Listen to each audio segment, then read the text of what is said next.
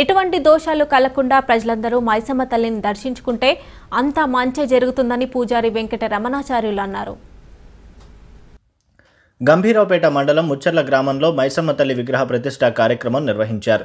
ఈ సందర్భంగా వివిధ రకాల పూజా కార్యక్రమాలు జరిపారు. పూజారి వెంకట రమణాచార్యులు మాట్లాడుతూ కట్టమైసమ్మ గుడిని ఊరి ప్రజలు కలిసి నిర్మించారని తెలిపారు. ఇరవై తొమ్మిదో తేదీన కట్టమైసమ్మ పండుగ ఉన్నందున గ్రామ ప్రజలు భక్తులు అధిక సంఖ్యలో పాల్గొనాలని తెలిపారు. समूढस्य वागं सुरे स्वाहा। ओम महादेव